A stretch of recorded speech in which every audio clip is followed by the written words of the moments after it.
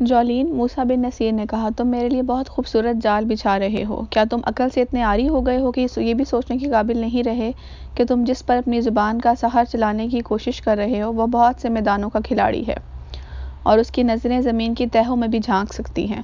بے شک امیر موسیٰ، جولین نے کہا، میں یہ سب کچھ سوچ کر آیا ہوں اور میں تمہارا شکریہ ادا کرتا ہوں کہ تم نے مجھے چھوٹا بھائی سمجھ کر تم کہا ہے۔ اجازت دو کہ میں بھی تمہیں تم کہوں۔ اس نے دونوں ہاتھ موسیٰ کی طرف بڑھا کر کہا، میری دلی دوستی قبول کرو اور میرے دل میں جو مخفی ہے وہ بھی سن لو۔ موسیٰ بن نصیر نے اس کے دونوں ہاتھ، اپنے دونوں ہاتھوں میں لے لیے۔ چند لمحوں بعد جولین نے اپنے ہاتھ موسیٰ کے ہاتھوں سے نکال لیے اور اٹھ کھڑا ہوا۔ اس نے بڑی تیزی سے نیام سے تلوار نکالی اور اس سے زیادہ تیزی سے موسیٰ کا ہاتھ اپنی تلوار پر چلا گیا، جو کہ اس کی کرسی کے ساتھ کھڑی رکھی تھی۔ لیکن جولین کی اگلی حرکت یہ تھی کہ اس نے تلوار اپنے دونوں ہاتھوں میں پر رکھ لی جس طرح کوئی چیز کسی کو پیش کرنے کے لیے اٹھائی جاتی ہے۔ جولین موسیٰ کے سامنے ایک قدم دور کھڑا ہو گیا۔ پھر وہ جھکا اور تلوار موسیٰ بن نصیر کے پاؤں میں رکھ دی۔ وہ سیدھا ہوا اور ایک قدم پیچھے ہٹ گیا۔ امیر موسیٰ، جولین نے پرجوش اور جذباتی لہجے میں کہا، یہ وہ تلوار ہے جو کبھی جھکی نہیں۔ اس نے دشمنوں کی اکھڑی ہوئی اور تنی ہوئی گردنیں کاٹی ہیں۔ گستاخی نہ سمجھنا موسیٰ، اسے تکبر اور غرور نہ سمجھنا۔ یہ وہ تلوار ہے جسے تم بھی نہیں جھکا سکتے۔ تمہاری بربر فوج بھی اس تلوار کی چمک دیکھ کر سیوستہ کے قلعے سے پیچھے ہٹ گئی تھی۔ آج یہ تلوار تمہارے قدموں میں پڑی ہے۔ کوئی بادشاہ، کوئی سلار اتنی آسانی سے اپنی تلوار اپنے دشمن کے قدموں میں نہیں رکھ دیا کرتا۔ لیکن تم میرے دشمن نہیں، اب ہم بھائی ہیں، دوست ہیں۔ آج ایک دوست نے اپنے دکھ اپنے دوست کے سینے میں ڈالنے آیا ہے۔ قبول کرو گے موسیٰ؟ موسیٰ بن نصیر نے جھک کر اپنے قدموں سے جولین کی تلوار اٹھائی اور اپنے ہاتھوں پر رکھ کر جولین کو پیش کی۔ مجھے مسرت ہوئی کہ یہ دیکھ کر کہ تم نے مجھے اپنا دوست اور بھائی بھائی کہا ہے۔ موسیٰ نے کہا، میں تمہیں تمہاری تلوار، میں تمہاری تلوار کی قدر کرتا ہوں۔ موسیٰ نے اس کی تلوار اپنے ہاتھوں اس کی نیام میں ڈال دی اور کہا، کیا اب میرا دوست اپنے دل کا دکھ مجھے سنائے گا؟ ہاں جو سنانے آیا ہوں وہ سنا کر جاؤں گا۔ جولین نے کہا، اگر امیر موسیٰ کی بیٹی کو کوئی بے آبرو کر دے تو موسیٰ اسے کیا سزا دے گا؟ جرم ثابت ہونے پر موسیٰ کو، مجرم کو سنگسار کر دیا جائے گا، موسیٰ نے جواب دیا۔ اور اگر مجرم کسی ملک کا بادشاہ ہو تو موسیٰ اس کی بادشاہی کی اینٹ سے اینٹ بجا دے گا۔ موسیٰ نے جواب دیا اور اس بادشاہ کے تمام خاندان کی تمام عورتوں کو لونڈیوں بنا کر ساتھ لے آئے گا۔ اور اگر وہ مظلوم بیٹی تمہارے دشمن کی ہو اگر مظلوم بیٹی اور اس کا باپ فریادی بن کر آئیں گے تو موسیٰ اس کا بھی انتظام لے انتقام لے گا۔ موسیٰ نے جواب دیا، لیکن یہ دیکھنا ضروری ہوگا کہ اپنی سنتلت کسی خطرے میں تو نہیں پڑ جاتی۔ نہیں موسیٰ جولین نے کہا، تمہاری سنتلت اور تمہاری امارت کسی خطرے میں نہیں پڑے گی، بلکہ تمہاری سنتلت کو وسعت ملے گی۔ اب سنو موسیٰ، وہ مظلوم باپ میں ہوں، بے آبرو ہونے والی بیٹی میری ہے۔ پھر تمہاری تلوار نیام میں کیوں پڑی ہے؟ موسیٰ نے کہا، اور یہ تلوار میرے قدموں میں کیوں گری ہے؟ اس لیے کہ مجرم مجھ سے زیادہ طاقتور ہے جولین نے کہا۔ وہ اندلس کا بادشاہ راڈرک ہے۔ راڈرک تک تمہاری بیٹی کس طرح پہنچی تھی؟ امیر موسیٰ جولین نے جواب دیا۔ میں بے شک شاہ راڈرک کا بازگر ہوں، لیکن میرا تعلق اندلس کے شاہی خاندانوں کے ساتھ ہے۔ کسی وقت میری یہ ریاست آزاد تھی۔ وقت گزرنے کے ساتھ سیوستہ کے دفاع کی ذمہ داری اندلس کے بادشاہ نے سنبھال لی۔ اور پھر سویستہ اندلس کا حصہ بن گیا۔ میں حکمران سے گورنر بن گیا۔ شاہی خاندانوں کے ہاں رواج ہے کہ جس کسی کی بیٹی پندرہ سولہ سال کی عمر کو پہنچ جاتی ہے، وہ بیٹی کو اندلس کے شاہی محل میں شاہی ادب اور سلیقہ شعری وغیرہ کی تربیت کے لیے بھیج دیا جاتا ہے۔ شاہی گھرانے بعض اوقات اپنی دس بارہ سال عمر کی بیٹیوں کو بھی وہاں بھیج دیتے ہیں۔ میں نے اپنی بیٹی فلورنڈا کو اس دستور اور رواج کے مطابق شاہ راڈرک کے محل میں بھیج دیا۔ اس کی عمر سترہ سال کے لگ بھگ ہے، چونکہ لڑکیوں کو آداب و اخلاق کی ذمہ داری دی جاتی ہے۔ اس لیے انہیں شاہی محل میں عورتوں کی نگرانی میں رکھا جاتا ہے۔ مردوں کے ساتھ ان کا کوئی تعلق نہیں ہوتا، لیکن میری بیٹی نے مجھے اطلاع بھیجی ہے کہ شاہ شاہ ریڈرک نے دھوکے میں اس کی آبرو ریزی کی ہے۔ تمہاری بیٹی اب کہاں ہے؟ موسیٰ نے پوچھا۔ میں اسے تلیتا سے لے آیا ہوں۔ جولین نے جواب دیا، تم جانتے ہو کہ تلیتا اندلس کا دارالحکومت ہے؟ میری بیٹی اب سیوستہ میں ہے۔ چاہو تو میری بیٹی کو یہاں بلا کر پوچھ سکتے ہو۔ موسیٰ بن نصیر، میں راڈرک سے اپنی بیزتی کا انتقام لینا چاہتا ہوں۔ اس کا ایک طریقہ تو یہ تھا کہ میں اسے قتل کروا دوں، لیکن یہ ممکن نظر نہیں آتا۔ وہ بہت کم باہر نکلتا ہے۔ نکلتا ہے تو اس کے ارد گرد محافظوں کا حسار ہوتا ہے۔ دوسرا طریقہ جو میں سوچ کر آیا ہوں، وہ تمہارے پاس آیا ہوں۔ وہ یہ ہے کہ تم اندلس پر حملہ کر دو۔ میری پوری مدد تمہیں حاصل ہوگی، البتہ میں سامنے نہیں آؤں گا۔ بے شک اندلس کی فوج لاتعداد ہے۔ تعداد کو دیکھو تو تم اس سے مقابلہ نہیں کر سکتے، لیکن جو جذبہ اور نظم و نسق تمہاری فوج میں ہے وہ راڈرک کی فوج میں نہیں۔ یہ میں تفصیل سے سناؤں گا۔ میں یقین سے کہتا ہوں کہ تمہاری فوج اندلس کی فوج کو شکست دے دے گی۔ میں راڈرک کو قتل کرنے تک اپنے انتقام کو محدود نہیں رکھنا چاہتا، میں اس کی بادشاہی کو خاک میں ملانا چاہتا ہوں۔ میرا یہ ارادہ صرف تم پورا کر سکتے ہو اور اس کا پورا پورے کا پورا فائدہ تمہارا ہوگا۔ صرف یہ درخواست کروں گا کہ سیوستا کو آزاد رہنے دینا۔ یہ تاریخ کا ایک مشہور واقعہ ہے جسے مورخوں اور بعد کی تاریخ دانوں نے تفصیل سے بیان کیا ہے۔ اس واقعے پر ڈرامے بھی اسٹیج اسٹیج پر کھیلے جاتے ہیں اور یہ واقعہ ناولوں کا موضوع بھی بنا رہا۔ جولین کی دو بیٹیاں تھیں، ایک کا نام فلورینڈا اور دوسری کا نام میری تھا۔ فلورینڈا جوں جوں بڑی ہوتی جا رہی تھی، اس کا حسن نکھرتا آ رہا تھا۔ اس کی ماں کہا کرتی تھی کہ میری بچی جتنی خوبصورت نکلتی آ رہی ہے اس کے لیے اتنا خوبصورت شہزادہ تو مشکل سے ہی ملے گا۔ ماں کو معلوم نہیں تھا کہ اس کی بچی نے اپنے لیے ایک شہزادے کا انتخاب عمر کے چودہویں سال میں ہی کر لیا تھا، اور وہ شہزادہ نہیں، شاہی استبل کے ایک شہ سوار کا بیٹا تھا۔ یہ شہ سوار شاہی خاندان کی اولاد اور فوجی افسروں کی اولاد کو گھڑ سواری اور نیزہ بازی کی تربیت دیتا تھا۔ شاہی خاندان اور فوج کے اعلیٰ حلقوں میں اسے اونچا مقام حاصل تھا، اس کا رتبہ بھی اونچا تھا۔ ہینری اس کا نوجوان بیٹا تھا۔ فلورینڈا جب تیرہ چودہ سال کی تھی، ہینری کی عمر اس وقت سترہ اٹھارہ سال تھی۔ ہینری کو باپ نے لڑک پن میں ہی شہ سوار بنا دیا تھا۔ نیزہ بازی کا بھی وہ ماہر ہو گیا تھا۔ چودہ سال کی عمر میں جولین نے اپنی بیٹی فلورینڈا کو گھڑ سواری کے لیے ہینری کے باپ کو حکم دیا۔ فلورینڈا صبح اور شام گھڑ سواری کے لیے جانے لگی۔ میری بیٹی کو لڑکی نہ سمجھنا، جولین نے ہینری کے باپ کو ہدایات دیتے ہوئے کہا، تم جانتے ہو میرا کوئی بیٹا نہیں۔ شاید یہی وجہ ہے کہ یہ لڑکی بیٹی کی بجائے بیٹا بنتی جا رہی ہے۔ میرے لیے وہ بیٹی کی کمی پوری کر رہی ہے۔ اسے مرد سمجھ کر شہ سوار بنانا ہے اور اسے نیزہ بازی کے ساتھ ساتھ دھوڑتے گھوڑے سے تلوار اور کھلاڑی جلانے کی تربیت بھی دینی ہے۔ ڈیڑھ دو مہینوں میں فلورینڈا گھڑ سواری میں اتنی پختہ ہو گئی تھی کہ اس کے نیچے گھوڑا لمبے لمبے کھڈ اور اونچی رکاوٹ پھیلانگ جاتا تھا۔ اس کا استاد اسے اکیلے دور نہیں جانے دیتا تھا، لیکن فلورینڈا شہزادی تھی۔ وہ استاد پر اپنا حکم چلا کر گھوڑا لے جاتی۔ استاد ڈرتا تھا کہ یہ لڑکی اکیلی کہیں جنگل میں کوئی رکاوٹ پھلانگتی گھوڑے سے گر پڑی یا گھوڑا گر پڑا اور وہ اس کے نیچے آ گئی تو استاد کی شامت آ جائے گی۔ استاد نے اس کا علاج یہ سوچا کہ جب فلورینڈا گھوڑا دوڑاتی، جنگل میں نکل جاتی تو استاد اپنے بیٹے ہینری کو اس کے پیچھے گھوڑے پر دوڑا دیتا تھا۔ ہینری کو اپنے پیچھے یا اپنے ساتھ دیکھ کر فلورینڈا کو اعتراض نے اعتراض نہ کیا تھا۔ ایک روز اس نے جنگل میں گھوڑا روکا۔ ہینری نے اپنا گھوڑا بھی اس کے قریب جا کر روک لیا۔ فلورینڈا نے اس کی طرف دیکھا اس کے ہوٹوں پر تبسم آ گیا۔ ہینری مردانہ حسن اور وقار کا مجسمہ تھا۔ اس کے جسم کی ساخت بتاتی تھی کہ وہ مرد میدان ہے۔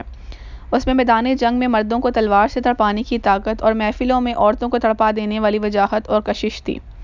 مجھے گھوڑے سے اتارو ہینری فلورینڈا نے کہا۔ اتنی تھک گئی ہوں کہ اترا نہیں جا رہا۔ یہ شہزادی کا حکم تھا۔ ہینری چشم زند میں اپنے گھوڑے سے کودا اور شہزادی کے گھوڑے کے قریب جا کر اس کے رکاب پر ہاتھ رکھا۔ لیکن شہزادی نے ہینری کی طرف جھک کر بازو پھیلا دیے۔ دوسرے ہی لمحے وہ ہینری کے بازوؤں میں تھی۔ ہینری اسے زمین پر کھڑا کر کے پیچھے ہٹا تو شہزادی نے اسے اپنے بازوؤں سے نکلنے نہ دیا۔ مت تڑپو ہینری فلورینڈا نے کہا۔ تم مجھے بہت اچھے لگتے ہو، بہت اچھے لگتے ہو۔ میں تمہارے ایک غلام کا بیٹا ہوں، شہزادی۔ ہینری نے ڈرے ڈرے لہجے سے کہا۔ کاؤنٹ جولین کو پتہ چل گیا تو غلط نہ سمجھو، ہینری فلورینڈا نے کہا، میں لڑکی تو ہوں لیکن خصلت لڑکیوں والی نہیں۔ مجھے تمہارا جسم نہیں چاہیے۔ کیا تم اس محبت سے واقف نہیں جو دل سے اٹھتی ہے اور روح میں اتر جاتی ہے؟ نہیں شہزادی، مجھے شہزادی کہنا چھوڑ دو فلورینڈا نے کہا۔ میں تمہیں محبت کرنے کا حکم نہیں دے رہی، مجھے فلورا کہا کرو۔ ہینری نے اسے فلورا کہنا شروع کر دیا۔ شہزادی شاہی چبوترے سے اتر آئی۔ ہینری سب کے سامنے اس کا نوکر تھا، لیکن قلعے سے باہر جنگل میں جا کر اس کا محبوب بھی تھا اور اس کے چاہنے والا بھی تھا۔ فلورینڈا نے پہلے روز اسے جو کہا تھا، مجھے تمہارا جسم، صرف جسم نہیں چاہیے، وہ اس نے سچ کر دکھایا۔ ان کی محبت دلوں سے اٹھی اور روحوں میں اتر گئی۔ ہینری نے اسے شہ سوار بنا کر نیزہ بازی اور تیغ زنی کا بھی ماہر بنا دیا۔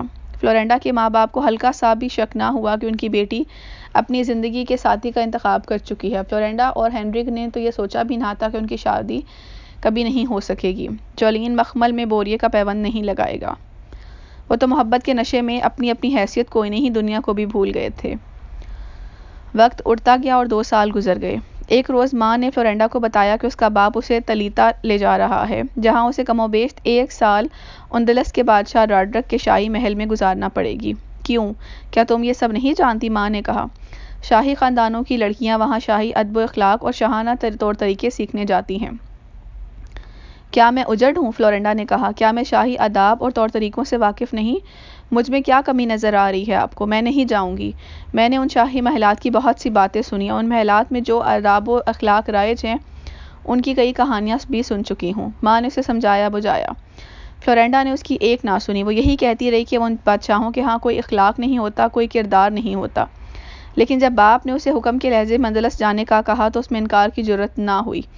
وہ جانتی تھی کہ اس کا باپ کتنا جابر ہے۔ جولین اور اس کی بیوی فلورینڈا کو کو ساتھ لے کر اندلس کے دارالحکومت تلیتا چلے گئے اور اسے راڈرک کے شاہی محل میں چھوڑ آئے۔ اس نے فلورینڈا کو راڈرک کے سامنے بھی پیش کیا۔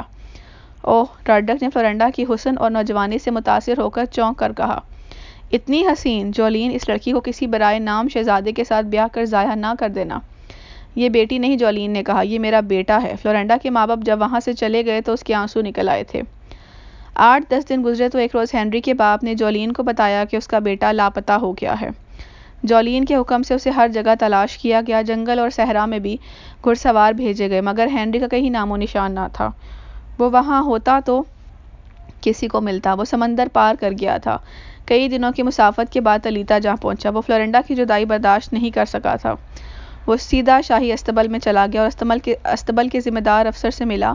اور نوکری کی درخواست کی۔ استبل کے افسر نے اس کا امتحان لینے کے بعد اس کا مذاق اڑانے کے لیے ایک انتہائی اکھڑ اور منہ زور گھوڑے کی طرف اشارہ کر کے اسے کہا کہ اس کی سواری کر کے دکھاؤ۔ یہ گھوڑا کم ہی کسی کے قابو میں آتا تھا۔ ہینری نے اس گھوڑے پر زین کسی اور اس پر سوار ہو گیا۔ استبل کے تمام کارندے ہینری کے گرنے کا تماش، گرنے کا تماشا دیکھنے کے لیے اکٹھے ہو گئے تھے۔ ہینری نے اپنا اکھڑپن دکھا، گھوڑے نے اپنا اکھڑپن دکھانا شروع کر دیا۔ سوار کے کسی اشارے کو خاطر میں ہی نہیں لاتا۔ لیکن ہینری نے تھوڑی دیر میں اسے آرام کر لیا، اسے سرپٹ دوڑایا اور ہر چال چلایا اور گھوڑا دھوڑ کے میدان میں رکاوٹیں پھیلانگے اور سب کو حیران کر دیا۔ پھر اس نے نیزہ بازی اور تیغ زنی کے جو جوہر دکھائے، اس کے نتیجے میں اسے اچھے عہدے پر نوکری مل گئی۔ اس کا مقصد صرف نوکری کا حصول نہیں تھا، وہ فلورینڈا سے ملنا چاہتا تھا۔ چند دنوں میں ہی اسے اس نے معلوم کر لیا تھا کہ فلورینڈا کہاں ہوتی ہے، لیکن اسے فلورینڈا تک رسائی کی کوشش کی کوشش نہ کرنی پڑی۔ ایک روز پانچ چھ شہزادیاں گھڑ سواری کے لیے آ گئیں، اس میں فلورینڈا بھی تھی۔ یہ سب فلورینڈا کی طرح دوسرے شہروں سے شاہی محل میں تعلیم و تربیت کے لیے آئی تھیں۔ اس تربیت میں گھڑ سواری بھی شامل تھی۔ فلورینڈا نے ہینری کو دیکھا تو حیران رہ گئی۔ وہ شہزادی تھی، کسی بھی ملازم کے ساتھ کوئی بات نہیں کر سکتی تھی۔ وہ سندہ ہینری کے پاس پہنچی۔ اور بلند آواز کے ساتھ اس سے باتیں کرنے لگ گئی تاکہ کسی کو شک نہ ہو۔ تمہارا نام کیا ہے? اس نے ہینری سے پوچھا۔ آگسٹ۔ ہنری نے اپنا نام غلط بتایا۔ میں یہاں، اس یہاں اسے اپنا سب کچھ ہی غلط بتایا تھا۔ میں نے تمہیں پہلے بھی کہیں دیکھا فلورنڈا نے کہا۔ دیکھا ہوگا، شہزادی ہینری نے کہا۔ میں کہیں جگہوں پر رہا ہوں۔ باقی شہزادیاں بھی اس کے ارد گرد آن کھڑی ہوئیں۔ وہ ہنسنے، کھیلنے کے موڈ میں ہی آئی تھی۔ استبل میں تمہارا کیا کام ہے؟ فلورنڈا نے پوچھا۔ یہ بڑا اچھا سوار ہے شہزادی۔ استبل کا افسر جو پاس ہی کھڑا تھا، اس نے کہا، شہ سوار ہے؟ آج اسی کو ہمارے ساتھ بھیجو۔ فلوریڈا نے کہا، میں دیکھتی ہوں یہ کتنا کچھ، کتنا اچھا شہ سوار ہے۔ اس روز ہینری کو شہزادیوں کے ساتھ بھیج دیا گیا۔ قلعے کے باہر جا کر فلورینڈا نے اپنی ساتھی شہزادیوں سے کہا کہ وہ اس شہ سوار کے ساتھ گھوڑا دور تک دیکھے گی کہ گھوڑ سواری میں کتنا ماہر ہے۔ دوسرے لمحے فلورینڈا اور ہینری کے گھوڑے پہلو بہ پہلی سر پر دھوڑے جا رہے تھے۔ وہ ہری بھری پہاڑوں کی پہاڑیوں کی اونٹ میں چلے گئے۔ کچھ وقت بعد وہ پہاڑیوں میں سے نکلے اور انہوں نے دل کی ساری باتیں کر لی تھی ہینری نے فلورینڈا کو بتایا کہ وہ سوستہ میں کسی کو بتائے بغیر یہاں آیا ہے۔ فوراً واپس چلے جاؤ۔ فلورینڈا نے کہا، میرے باپ کو پتہ چل گیا کہ تم یہاں ہو تو پہلا شک یہ ہوگا کہ تم میرے لیے یہاں آئے ہو۔ سیوستا کی شاہی نوکری چھوڑ کر یہاں نوکری کرنے اور کوئی اور وجہ نہیں ہوگی جو تم کسی کو بتا کر مطمئن کر سکو۔ کچھ دن اور رہنے دو فلورا۔ ہینری نے کہا، ایک دو اور ملاقاتوں کا موقع پیدا کرو، پھر میں چلا جاؤں گا۔ اپنے باپ کو سب کچھ بتاؤں گا کہ سیوستا سے جی اکتا گیا تھا، اس لیے اندلس کی سیر کو نکل گیا تھا۔ محل کے ارد گرد باغات تھے، جن میں گھنے، درخت، پھولدار، پودے اور بیلیں تھیں۔ بعض گوشے پیر بوٹیوں اور بیلوں سے ڈکے ہوئے تھے۔ فلورینڈا نے ہینری کو ایسا ہی گوشہ بتایا اور ایک ایسا رستہ بھی بتایا جو اس گوشے تک جاتا تھا، لیکن آدھی رات کے بعد، اور اس سے پہلے اور دن کو پکڑے جانے کا خطرہ تھا۔ ہینری نے خطرہ مول لے کر دوبارہ باغ کے اس تاریخ گوشے میں فلورینڈا سے ملاقات کی۔ فلورینڈا نے بھی خطرہ ہی مول لیا تھا، باہر سے آئی ہوئی شہزادیوں کی کڑی نگرانی کی جاتی تھی۔ پھر بھی فلورینڈا ان دونوں راتوں کو اپنے کمرے سے ننگے پاؤں چوروں کی طرح باہر نکلی اور باغ میں پہنچ گئی۔ دوسری ملاقات میں اسے ہنری کو تین رات بعد آنے کا کہا۔ اس دن جس دن ہنری نے باغ میں آنا تھا، شاہ شاہ ریڈرک چار پانچ دنوں کی غیر حاضری کے بعد واپس آیا تھا۔ اندلس سے کسی دور دراز علاقے میں کچھ باغی سر اٹھا رہے تھے۔ شاہ ریڈرک وہاں خود گیا اور باغیوں کے سر قلم کرنے کا حکم دیا۔ اور ان کے سر قلم کروا دیے۔ وہ شام کو واپس پہنچا تھا، تھکا ہوا بھی تھا اور خوش بھی کہ بغاوت کو اٹھنے سے پہلے ہی ختم کر آیا ہے۔ اس نے غسل کیا اور شراب پینے بیٹھ گیا۔ اس کے انداز اور باتوں سے ظاہر ہوتا تھا کہ وہ مسرت اور بدمستی سے پھٹا جا رہا ہے۔ اسے پتہ نہیں چل رہا تھا کہ خوشی کی تقریب کس طرح منائے۔ بادشاہوں کے ہاں اپنے دل بہلانے کے دو ہی طریقے ہوتے ہیں، عورت اور شراب۔ راڈرک کے ہاں دونوں چیزوں کی کمی نہیں تھے۔ اس کے دو تین درباری حکام اس کے ساتھ پی پلا رہے تھے۔ کوئی نیا پھول ہے؟ راڈرک نے پوچھا۔ شراب پلانے والی لڑکی کی طرف دیکھا جو نوخیز اور دلکش تھی۔ خود ہی ناک چڑھا کر بولی، نہیں، کوئی کلی ات کلی کھلی۔ وہی پھول ہیں جو شاندلس کی خوابگاہ میں خوشبو بکھیرتے رہتے ہیں۔ ایک حاکم نے غلامانہ سی مسکراہٹ سے کہا، نہیں۔ اس نے بدمستگی کے لہجے میں کہا، کوئی کلی ہا ہا ہا اس نے چٹکی بجا کر فلورینڈا جولین کی بیٹی۔ شاہ اندلس، اس نے ایک، اس کی ایک مشیر نے کہا، باہر سے آئی ہوئی شہزادیاں ہمارے پاس امانت ہے۔ وہ داب و اخلاق سیکھنے آتی ہیں۔ آج تک یہاں آنے والی شہزادیوں کے ساتھ کبھی معمولی سی چھڑخانی بھی نہیں ہوئی۔ اس روایت کو خراب نہ کیا جائے۔ ہم اسے اندلس کی ملکہ بنائیں گے۔ شاہ ریڈرک نے نشے سے لڑکراتی زبان میں کہا، تم سب چلے جاؤ اور فلورینڈا کو یہاں بھیج دو۔ شاہ معظم مشیر نے کہا، آپ کو خطروں سے خبردار کرنا اور بچانا میرا فرض ہے۔ خواہ اس فرض کی ادائیگی میں مجھے اپنی جان دینی پڑے۔ ہو سکتا ہے آپ ہی کی تلوار کے عالم اتاب میں عالم اتاب میں نیام سے نکل آئے اور میرا سر تن سے جدا کر دے۔ لیکن میری روح مطمئن ہوگی کہ میں نے اپنا فرض ادا کیا۔ کیسا خطرہ؟ شاعر آڈرک نے کہا، جولین سے مجھے کیا خطرہ ہو سکتا ہے؟ پہلی بات تو یہ ہے کہ اس کی بیٹی فلورنڈا شاہ اندلس کی خوابگاہ میں شب بستری کو بڑا اعزاز سمجھے گی۔ اگر وہ ہمیں قبول نہیں کرے گی اور اپنے باپ کو بتا دے گی تو جولین ہمارا کیا بگاڑ لے گا؟ تو ان زمین کا مالک ہمارے بیس سواروں کا مقابلہ کرنے کے قابل نہیں ہے۔ اس کی طاقت ہم ہیں۔ اگر اس نے اربوں اور بربروں کو سیوستہ میں روکا ہوا ہے اور اندلس کی طرف نہیں آنے دے رہا تو اس کی وجہ صرف یہ ہے کہ اس کی پیٹھ پر ہمارا آہات ہے۔ اگر ہم اپنا ہاتھ کھینچ لیں تو عرب اور بربر مسلمان اس کے قلعے کی اینٹ سے اینٹ بجا دیں اور اس کی دونوں بیٹیوں کو لونڈیاں بنا کر لے جائیں گے۔ اگر ہم نے اس کی بیٹی کو کچھ دیر کے لیے اپنی خوابگاہ میں بلا لیا تو اسے خوش ہونا چاہیے۔ ہو سکتا ہے ہم اس کی بیٹی کو اپنی ملکہ بنا لیں۔ میں تو صرف یہ کہتا ہوں، شاہ معظم مشیر نے کہا، ہمیں دوست پیدا کرنے چاہیے، دشمنوں کو، دوستوں کو دشمن نہ بنایا جائے۔ تم کچھ نہیں سمجھتے۔ شاہ راڈرک نے شہنشاہوں کے لہجے میں کہا، جاؤ اسے یہاں بھیج دو۔ شہنشائیت کے ساتھ شراب کے نشے نے مل کر راڈر کی عقل پر پردہ ڈال دیا تھا۔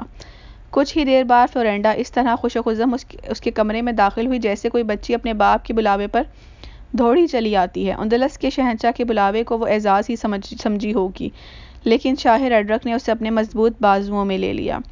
فلورینڈا بہت تڑپی روئی بھی، مگر وہ ایک جنگجو کے طاقتور بازو تھے۔ ریڈرک کو توقع نہیں تھے کہ کوئی لڑکی اسے اس طرح دودکار بھی سکتی ہے۔ جس طرح فلورینڈا اسے نفرت سے دھتکار رہی تھی۔ ریڈرک نے اسے ملکہ بنانے کا لالچ دیا، لیکن وہ بے آبرو لیکن وہ آبرو بافاختہ ہو کر ملکہ بننے پر رضامند نہ ہوئی۔ ریڈرک نے اسے دھمکی دی کہ وہ سوستا پر حملہ کر کے اس کے باپ کو اور پورے خاندان کو مجبور کر دے گا کہ تلیتا کی گلیوں میں بھیک مانگتے پھریں۔ فلورینڈا نے کہا کہ زمین اور آسمان کو آگ لگا دو، میں اپنی کماری آبرو سے دستبردار نہیں ہوں گی۔ اندلس کی تاریخ لکھنے والے تمام تاریخ دان متفق ہیں کہ فلورینڈا نے نہ کوئی لالچ قبول کیا، نہ اس کی دھمکیوں کو خاطر میں لائی۔ وہ اپنی پاکیزگی اور دوشیزگی کے واسطے دیتی رہی، لیکن شہنشائیت اور شراب نے ریڈرک کو ویشی اور درندہ بنا دیا تھا۔ سولہ برس کی لڑکی اس سے اپنی پاکیزگی اور دوشیزگی بچا نہ سکی تھی۔ یہ رات کے پہلے پہر کا واقعہ تھا۔ آدھی رات گزرتے ہی ہینری نے شاہی باغ کی باغ کی واڑ اس تاریخ جگہ سے پہلانگی، جہاں سے پہلے وہ دو بار گزر کر باغ میں داخل ہو چکا تھا۔ وہ باڑ کے ساتھ جھکا جھکا اس جگہ پر پہنچا جہاں فلورینڈا اسے مل چکی تھی۔ وہ ابھی نہیں آئی تھی، اسے زیادہ انتظار نہ کرنا پڑا۔ ایک سایہ آہستہ آہستہ اس کی طرف بڑھا آ رہا تھا۔ قریب آتے ہی وہ ایک عورت کا روپ اختیار کر گیا۔ ہینری پہلے کی طرح دو تین قدم اس کی طرف بڑھا، لیکن فلورینڈا کی چال ڈھال میں ذرا سا بھی جوش و خروش نہیں تھا۔ ہینری نے حل ملاقات کی طرح اب بھی بازو پھیلا دیے، لیکن فلورینڈا اس کے بازو میں جانے کی بجائے اس کے بازو کو جھٹک کر اس طرح گھاس پہ بیٹھ گئی جیسے گر گئی ہو۔ کیا ہوا فلورا؟ ہینری نے گھبرائے ہوئے لہجے میں پوچھا، اس کے پاس بیٹھ گیا، مجھ سے دور رہو ہینری فلورینڈا نے روتے ہوئے کہا، میرے ناپاک وجود کو ہاتھ نہ لگاؤ، میں تمہارے قابل نہیں رہی۔ میں اپنے غیور اور بہادر باپ کو بھی منہ دکھانے کے قابل نہیں رہی۔ میں اپنے آپ کو بھی دھتکار رہی ہوں۔ کچھ بتاؤ تو صحیح فلورا۔ ہنری نے تڑپتے ہوئے کہا فلورینڈا نے اسے سارا واقعہ سنا دیا۔ میری دوشیزگی، میری دولت تھی۔ فلورینڈا نے ہچکیاں لیتے ہوئے کہا میں نے اپنے آپ کو کبھی بھی شہزادی نہیں سمجھا۔ اگر مجھے ملکہ بننے کا شوق ہوتا تو میں اپنے آپ، اپنے باپ باپ کے ایک ملازم کے بیٹے میں گرفتار نہ ہوتی۔ فلورا ہینڈی اٹھ کھڑا ہوا اور کپڑوں کے اندر نیفے میں اڑسا ہوا خنجر نکال کر بولا، میں اس بادشاہ سے انتقام لوں گا۔ میں اسے قتل کر کے یہاں سے نکلنے کی کوشش کروں گا۔ پکڑا گیا تو بھی پرواہ نہیں، تمہاری آبرو پر خوشی سے جان دے دوں گا۔ نہیں ہینری، فلورینڈا نے اس کے آگے بازو پھیلا کر کہا۔ تم اس تک نہیں پہنچ ہی نہیں سکو گے اور پکڑے جاؤ گے۔ میں تمہیں بے مقصد موت کے منہ میں نہیں جانے دوں گی۔ تم ایک کام کرو، صبح سویرے شہر کے دروازے کھلتے ہی نکل جانا۔ کسی بہانے سب سے اچھا گھوڑا لے جانا۔ جس قدر جلدی جا سکتے ہو جاؤ اور سیوستہ پہنچ کر میرے باپ کو یہ واقعہ سناؤ اور اسے کہنا کہ وہ آ کر کسی بہانے سے مجھے یہاں سے لے جائے۔ شاہ ریڈرک پر ظاہر نہ ہونے دے کہ اسے اس واقعے کا علم ہو کیا ہے۔ اگر اس نے ریڈرک کے سامنے ذرا سا غصے کا اظہار کیا تو یہ بدکار بادشاہ میرے باپ کو قتل کرا دے گا اور مجھے ہمیشہ کے لیے اپنے محل میں قید کر لے گا۔ راڈرک نے مجھے بہت ہی خطرناک دھمکیاں دی ہیں، میرے باپ کو اچھی طرح سمجھا دینا، ورنہ وہ سیوستہ سے ہاتھ دو بیٹھے گا اور ہمارے خاندان کا انجام بھی بہت برا ہوگا۔ الصبح ہینری نے اسے اسی اکھڑ اور مزور گھوڑے پر زین کسی جس پر پہلے روز اس کا امتحان لیا گیا تھا۔ اسے ہینری ٹلائی کے بہانے باہر لے گیا۔ قلعے کے دروازے کھل چکے تھے۔ قلعے سے نکلتے ہی اس نے گھوڑے کو ایڑ لگائی۔ گھوڑا ہوا سے باتیں کرنے لگا۔ اس کے سامنے تلیتا آج کا میڈ ریڈ سے سمندر تک، جہاں آج جبرالٹر واقعہ ہے، پانچ سو میل کی مسافت تھی۔ گھوڑا اتنی مسافت سرپٹ دوڑ کر طے نہیں کر سکتا تھا۔ ہینری نے تلاش اور تعقب سے بچنے کے لیے گھوڑا پوری رفتار پر دوڑا دیا تھا۔ بہت دور جا کر اس نے گھوڑے کو ایک ندی کے کنارے روکا اور اسے پانی پلایا۔ کچھ دیر آرام کے بعد گھوڑے کا کو معمولی رفتار سے دوڑانے لگا۔ وہ رات کو بھی سفر جاری رکھتا تھا۔ اس طرح کچھ دیر آرام کرتے اور زیادہ تر وقت سفر سفر کرنے میں گزر جاتا اور اس نے چار دنوں میں پانچ سو میل کا فاصلہ طے کیا۔ آگے سمندر تھا سوستہ جانے کے لیے کوئی کشتی تیار نہیں۔ تھی۔ دو تین دنوں تک کوئی کشتی ادھر جانے والی نہیں تھی۔ ایک بات بانی، کشتی کے ملاحوں نے ہینری کو اکیلے لے جانے کے لیے اتنے زیادہ پیسے مانگے جو ہینری کے پاس نہیں تھے۔ یہ گھوڑا تمہاری کشتی سے زیادہ قیمتی۔ ہے ہینری نے ان دونوں ملاحوں سے کہا، اسے یہیں رہنے دو، یہ تمہارا ہو گیا۔ مجھے سیوستہ کے ساحل تک پہنچا دو۔ ہم ملاح ہیں، ایک ملاح نے کہا۔ گھوڑے کو ہم کیا کریں گے؟ اپنا اور اپنے بچوں کا پیٹ بھرنا مشکل ہے؟ گھوڑے کو ہم کہاں سے کھلائیں گے؟ اسے بیچ کر اپنی رقم پوری کر لینا۔ ہم گھوڑوں کی سوداگری سے واقف نہیں۔ مجھ پر اعتبار کرو ہینری نے کہا۔ مجھے لے چلو پار، جا کر کرائے کے پیسے دوں گا اور انعام بھی۔ ملا اس کی شکل و صورت، اس کا لباس، قد کاٹ، اس کا گھوڑا دے کر اسے کوئی افسر ہی سمجھ بیٹھے تھے اور اسے اس کے گھوڑے کو کشتی میں سوار کر دیا اور باد بان کھول دیے۔ یہ سمندری مسافت صرف بارہ میل کی تھی۔ سورج غروب ہونے میں کچھ وقت باقی تھا جب کشتی سیوستہ کے ساحل سے جا لگی۔ ہنری کے ہنری نے ملاحوں کو ساتھ لیا اور سیدھا جولین کے محل میں پہنچا۔ وہاں بتایا کہ کاؤنٹ جولین کو میرے آنے کی فوراً اطلاع دی جائے۔ تلیتا سے شہزادی فلورینڈا کا بہت ضروری پیغام لایا ہوں۔ جولین نے اسے فوراً بلا لیا اور اپنی بیٹی کے پیغام کے لیے بےتاب تھا۔ کیا تم فریڈرک کے بیٹے ہینری نہیں ہو؟ جولین نے اسے دیکھتے ہی پوچھا۔ ہاں کاؤنٹ ہینری نے کہا، کیا تم تلیتا سے آئے ہو؟ جولین نے کہا، باپ کو بتائے بغیر چلے گئے تھے۔ ہاں کاؤنٹ ہینری نے جواب دیا، میرا یہاں دل اکتا گیا تھا۔ میں امدلس کی سیر کو نکل گیا تھا، لیکن محترم کاؤنٹ میرا غائب ہو جانا اور آ جانا آپ کے لیے کوئی اہمیت نہیں رکھتا۔ میں جو پیغام لایا ہوں وہ آپ کے لیے بہت اہم ہے۔ پہلے ایک درخواست سن لیں میں جس کشتی پر آیا ہوں اس کا کرایہ نہیں دے سکا۔ ملا ساتھ ہے، انہیں کرایہ ادا کرنا ہے۔ جو علین نے کرایہ اور انعام ادا کرنے کا حکم دیا۔ ہینری سے پوچھا کہ اس کی بیٹی نے کیا پیغام بیچا ہے۔ ہینری نے جب پیغام سنایا تو جولین اٹھ کھڑا ہوا۔ اس کے جسم کا سارا خون جیسے اس کے چہرے پر اور آنکھوں پر اکٹھا ہو گیا۔ وہ غصے اور ہجانی کیفیت میں کمرے میں تیز تیز ٹہلنے لگا۔ شہزادی کے ساتھ میری ملاقات اتفاقیہ ہو گئی تھی ہینری نے کہا۔